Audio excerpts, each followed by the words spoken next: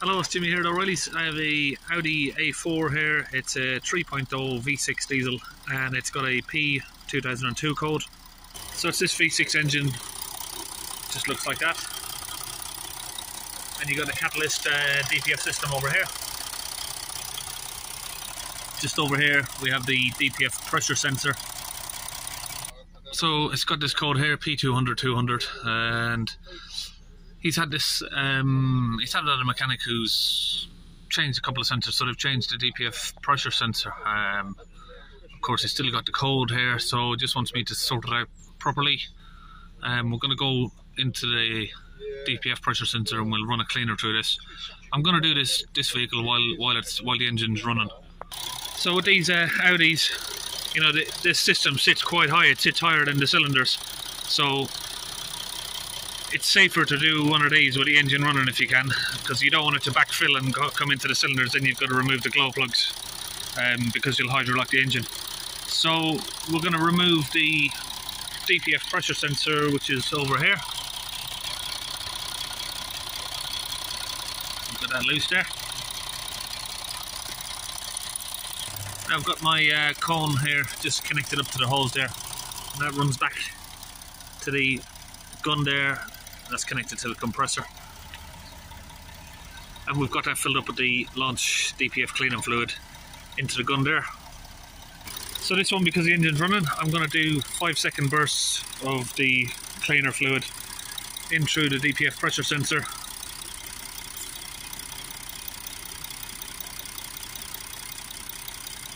we'll let go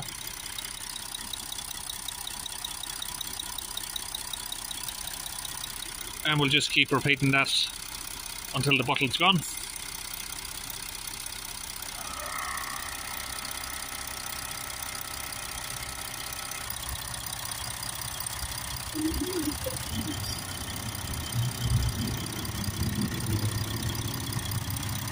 And we'll start to see some smoke coming out the back there. Now the engine is hot, so it should just create a steam.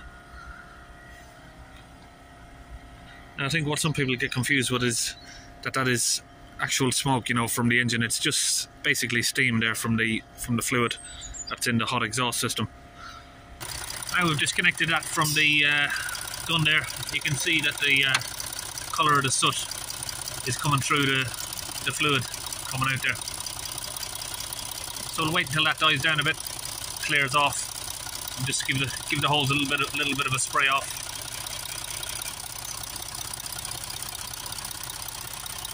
Got a sensor there connected back up now.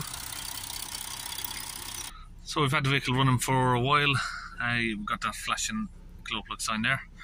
Had the vehicle running for a while now, just giving it a few revs up and down. Get the pressure up on the DPF, so we're sitting around about 21 millibars, 22.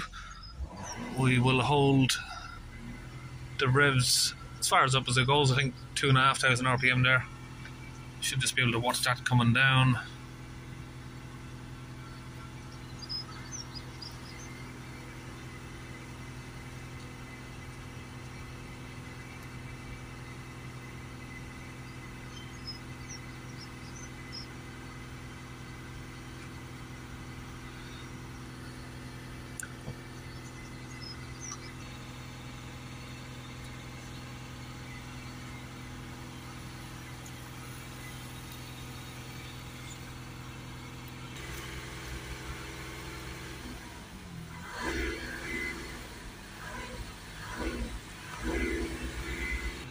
So just giving it a few revs up and down there.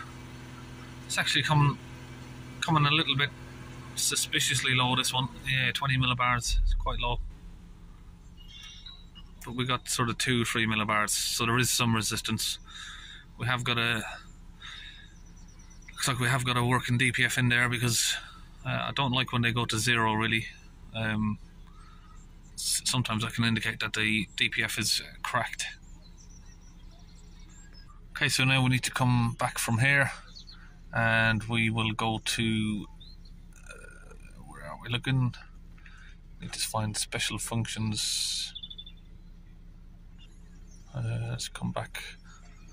Special function. diesel engine, DPF matching. That's what we're looking for.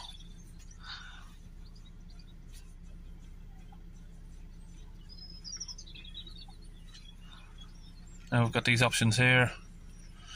Particle filter replaced. So that's going to do adaptations of the values, basically calibrate the new uh, DPF in. It's not a new DPF, but the now the pressure is down low enough, you can tell it's, it's a new DPF.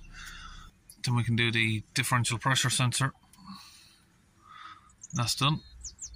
Okay, so we're going to come in here and do the DPF itself, start the engine and increase the revs.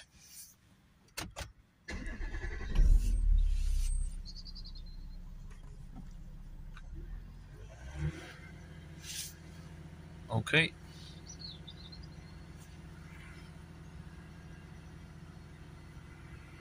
So I tried to let it uh, focus there.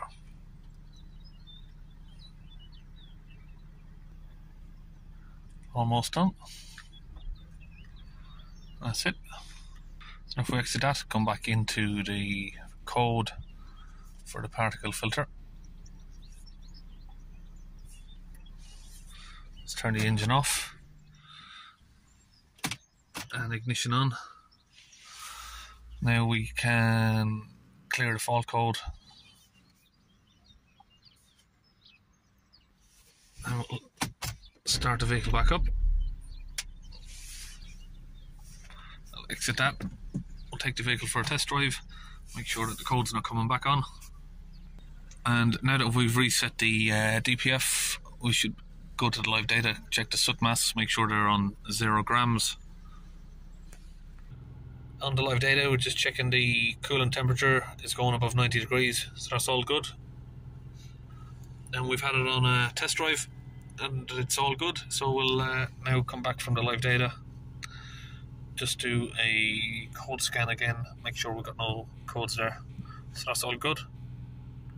That's it. We can exit that just about finished. Uh, this scan tool is a Launch Euro Tab 3. So that's it, we're all finished. See you in the next video.